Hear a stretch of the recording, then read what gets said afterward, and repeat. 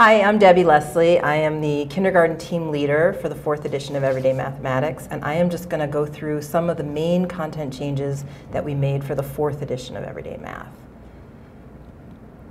So the first thing that anyone might notice if they're familiar with previous editions is that we expanded the lessons from what was before the top and bottom two-page spread, which teachers really liked. It fit on their lap, but the other feedback that we heard as, or when we went out into classrooms was that they needed a little bit more meat. And so we kept the trim size of the kindergarten teacher lesson guide, but we did double the number of pages. So essentially every lesson, except for the open response and re-engagement lessons, which I'll mention later, are now spread across four pages, two top and bottom spreads. And that has allowed us to do a lot of things that we hope will make it easier for teachers to teach the lessons with the richness and the depth that we see in them. So there's more explicit questioning, there's more detail around how to set up the activity. Every lesson has kind of a connection to math they've done before and a summary or a conclusion to kind of wrap it up.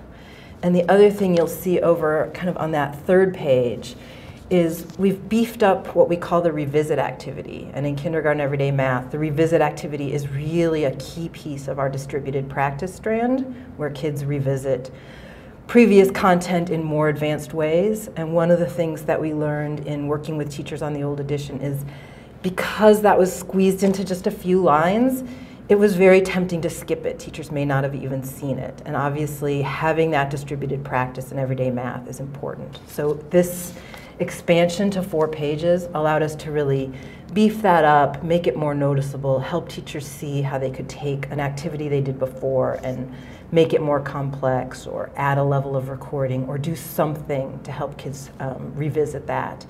Um, the other thing it's helped us do is make sure that we have a readiness, an extra practice, and an enrichment option for every single lesson in the program. And that's always on that fourth page.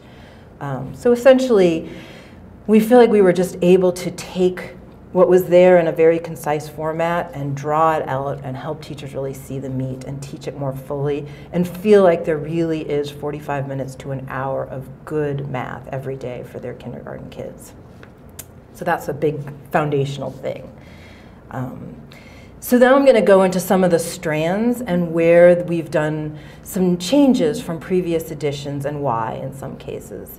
Uh, so the first thing people would notice, particularly because it comes at the very beginning of the, of the teacher lesson guide, is we made much more explicit the attention to foundational counting principles that the Common Core calls for. This is mostly in um, KCC 4. So one-to-one -one correspondence, the cardinal principle, and I think the one that's least known and understood is the successor function. And what we've done is really kind of talked about what those things are, taken each of them in turn explicitly, and developed activities to help kids who really are still learning these in their kindergarten year um, develop them and have a really strong foundation. And we have front loaded this work in sections one through three so that then kids can apply their really strong foundational understanding of counting to all the stuff that comes later in the year. And you can see from these examples, these are just a couple of examples, three examples. We've done it through games and we've done it through the usual kindergarten kind of kinesthetic, tactile, um, engaging interactive activities. That's just an example of them. Uh, related to counting, but still a little bit different, is number sense. And so these kind of fall in the K, the operations and algebraic thinking strands like KOA 3 and KOA 1. We've done a lot more than we did in previous editions with composition and decomposition of numbers, using flexible representations of numbers. We've used quick looks, which are quick flashes of dot patterns on 10 frames or in other representations. Um, and of course, we still use manipulative in games this particular slide, you can kind of see right here is more concrete representations. Um, and gradually we're moving towards more abstract representations of numbers.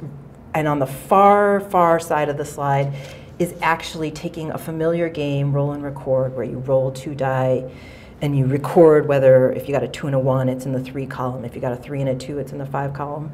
We used to just have kids uh, record the number and now, towards the end of the year, we have them actually recording the equation. And so you would maybe recognize that in, in KOA 1, which says that we have kids representing addition through pictures, you can see that on the slide, numbers, um, manipulatives. You can see that with the connecting cubes in different colors and ultimately equations. And so this is something that it's not like counting where it's really front loaded in the beginning of the program. It's across the entire teacher's lesson guide, but it does move from more concrete to more abstract as the year goes on. Um, within, this is kind of a special case of that, uh, but complements of 10, so number pairs that add to 10, which is KOA 4, is really a new standard for kindergarten. That used to be more in the range of first grade standards. And so we thought about a lot about the progression of this. And these three activity cards, which correspond to games in the fourth edition, um, kind of show the progression. These are just a subset of the things, but 10 Bears on a Bus is a very concrete complements of 10 game where kids actually put three yellow bears on a bus, and then they have to figure out how many more red bears to fill the bus. Very concrete, uses 10 frames. Hiding bears is a little bit more concrete, I mean, a little bit more abstract. It comes kind of in the middle of the year. And kids put a certain number of bears in a cave under a cup. And based on how many are showing, they figure out how many more to 10. And some kids will still use 10 frames to help them figure that out, and some kids will not because they'll start to have memorized that. And then in section eight, which is the second to last section, is car race, which is a much more abstract game, but still working on complements of 10. Kids have to split a roll across, split a dice roll across multiple cars moving on a track and try to get to a full 10. And so it's a cooperative game, but it just represents the progression of this particular skill across the year. Uh, another thing people might notice is that we've changed our attention to place value. In older versions of Everyday Math, we really did focus on written numerals up to and beyond 100. Here we've really shifted the emphasis. We give considerably more attention to place value for teen numbers. And even at that, it's 10 ones and some more ones in correspondence with the Common Core um, KNBT1. Um, We've given relatively less attention to written numerals and place value above 20, but I wouldn't say that we've removed it entirely because the Common Core still has kids counting to 100. And so we do use some of those written supports like a number grid to support that oral counting, but it really is more kind of backgrounded. And in the foreground, when we're talking about written numbers, it really is 0 to 20. And you can see one of the reasons I put this slide here is you might notice a new format for the My First Math book where we have a sample problem on the page and we've tried to put more examples for kids to do. That was in response to feedback on the previous edition. And you can see here too that when we do talk about teen numbers, we use double 10 frames, we use equations, we use counters. So we're trying to bring all of the representations of numbers that kids have been working with for numbers below 10 to those teen numbers, to 11 through 20. Another place that we've enriched the, the content is in the geometry strand. And this is a place where we feel like the Common Core has given us some nudges to do even more of what we tried to do before, which is we tried to have shapes in different proportions and different orientations. And um, we've always tried to resist the notion that all triangles are equilateral triangles sitting on their base. But the Common Core has really pushed us to think about doing that even more and even better.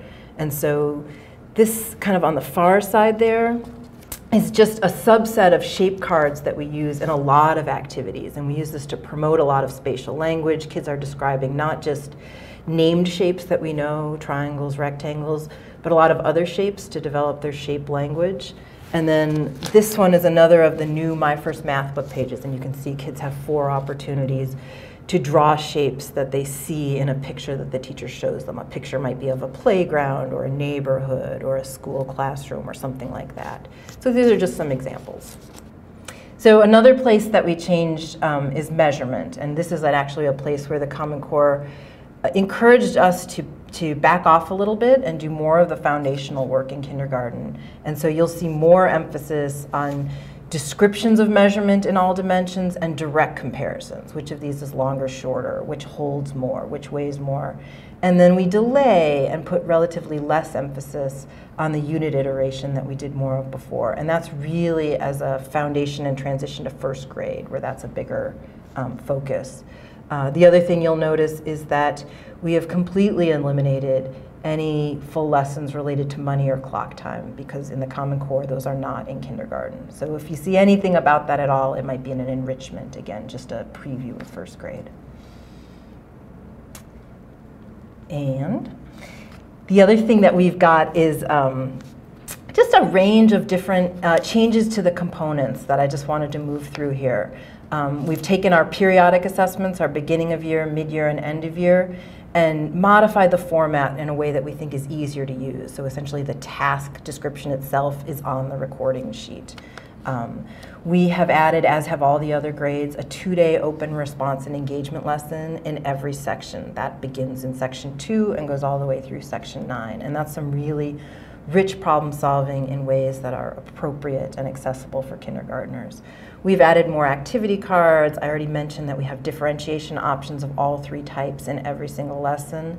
And the connections activities are things like literacy connections, art connections, social study connections, and there's at least one of those cross-curricular activities in every single kindergarten lesson.